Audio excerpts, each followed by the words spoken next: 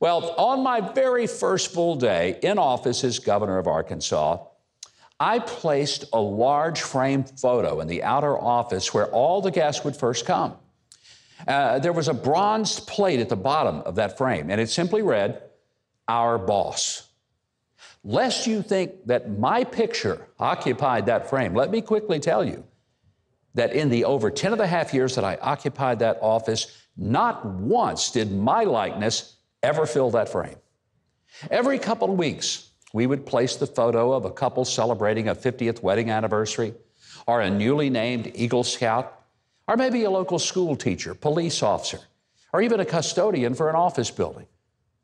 In our weekly staff meeting, I would often remind our entire team to be sure and pay attention to the person in that frame.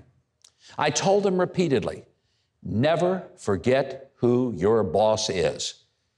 I went on to tell them that their boss wasn't the guy with the nice office on the second floor that overlooked the Arkansas River out of the north window and Capitol Avenue from the east window. Nope. I worked for the same boss they did. Every single citizen of the state of Arkansas. We worked for them, not the other way around.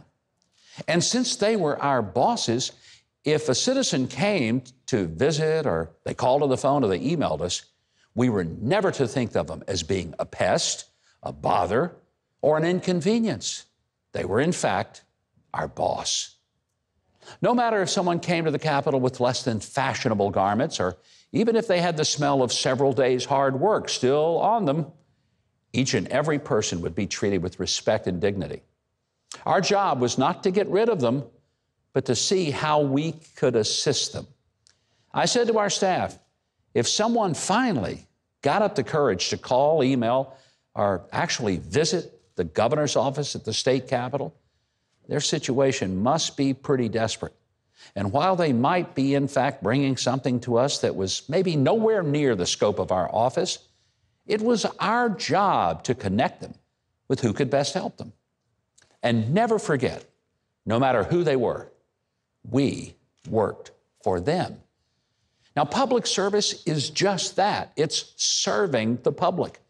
Upon election, one doesn't get smarter, superior, or more stylish.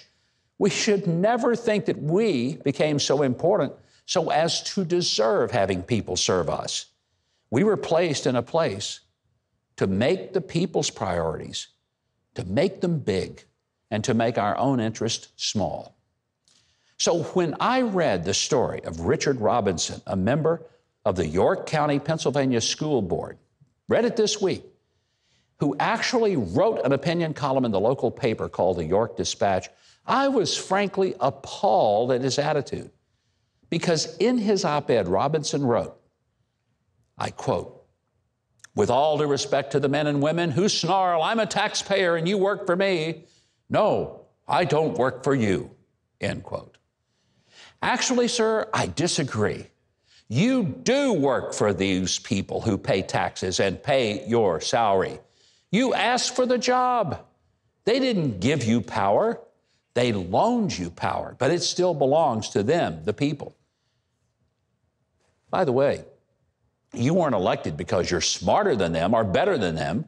You're elected because you asked them for the job and you promised to serve them. So, see whether one is elected to school board, city council, Congress, the governorship, or the White House.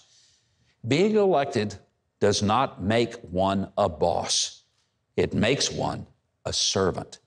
Now, not a weakling or a waffling coward, no. But, but one who sacrifices self to put others first.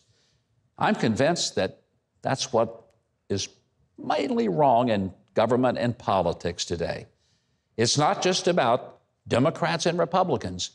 It's also whether you see the job as serving others or being served by others.